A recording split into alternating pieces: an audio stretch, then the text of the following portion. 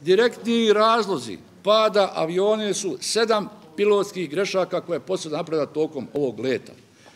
Prva je, nisu smjeli poletiti za Mostar iz Skoplja to jutro, jer nisu imali informacije o vremenu Mostaru, a vrijeme je bilo izuzetno loše.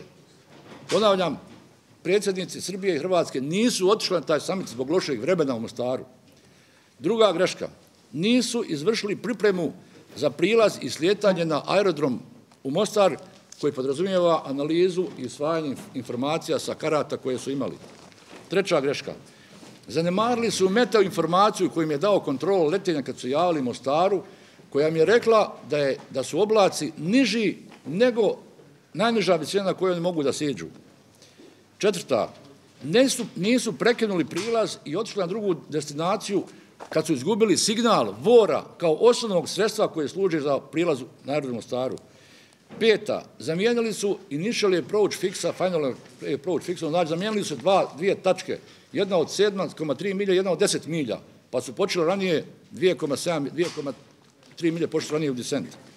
Šesta, isključili su autopilot i letili na ruke, što je strašna greška. I sedma, ono kad smo tamo došli, znači leteći pilot, u ovom slučaju bio kopilot, nije održavao visinu od 2000 fita koja mu je bila postavljena na, od strane drugog člana posljede, koja je bila postavljena koju trebao da drži dok je prilijetao tu, tu tačku. Zašto nije održavao tu visinu? Nije održavao zato što nije bio obučen, dovoljno obučen da radi taj posao.